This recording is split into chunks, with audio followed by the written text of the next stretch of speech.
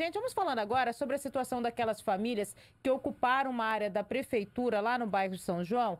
Pois é, gente, um grupo é, de famílias aí de sem teto ontem compareceu em frente à prefeitura de Três Lagoas, né, para protestar, enfim, eles querem que a prefeitura apresente uma solução, porque está chegando o prazo para eles desocuparem a área. A prefeitura entrou na justiça para reintegração de posse. A juíza concedeu um prazo maior para que as famílias possam permanecer no local e é por isso que eles compareceram ontem então na prefeitura para protestar.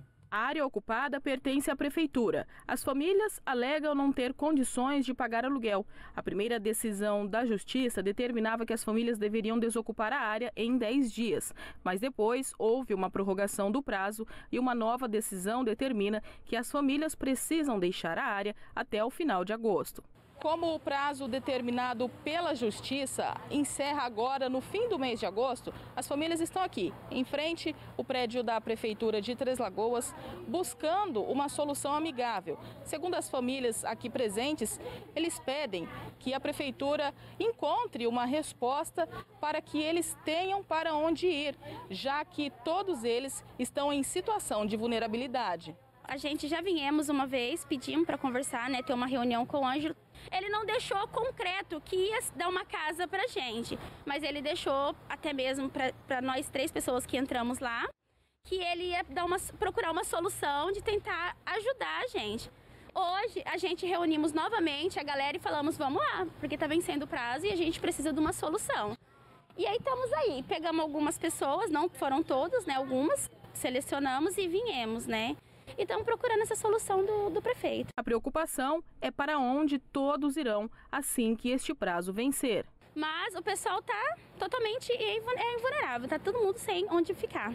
Tem uma de 15 anos, um de 13, um de 10 e agora eu tenho uma menininha de um ano e 10 meses e agora eu tenho um outro bebezinho que está com dias de nascido. Está você e os filhos? Sim, sim, estamos lá. É, o espaço lá tá, tá complicado, né? Ainda eu fiz ainda meio grandinho. Tem outra mulher que mora, ela e 11 pessoas, né? Tudo no, no mesmo ambiente e tá difícil. Sara está morando em um barraco com o esposo e o filho pequeno e fala da dificuldade. Como que vocês estão fazendo para sobreviver, para se alimentar diariamente? Olha, tá muito difícil, porque nós estamos desempregados, entendeu? Eu faço bico, meu esposo também faz bico, então nós precisamos de uma moradia precisando de uma moradia, de um lar para morar. Nós precisamos de água, de luz, né? De tudo, né? Alimento para as crianças comer. Às vezes as crianças ficam doentes lá, né? Porque pega sereno, né? Tudo isso. Então nós precisamos de um lar para nós morar, né? As famílias sem teto alegam que a crise causada pela pandemia tem dificultado até mesmo que eles encontrem um emprego para garantir o básico, como o alimento e o aluguel, para terem condições mais dignas. Entregamos currículo, mas está muito difícil de emprego, né? Hoje em dia, com essa pandemia que veio, aí acabou tudo. Pagar aluguel sem condição. Sem condição.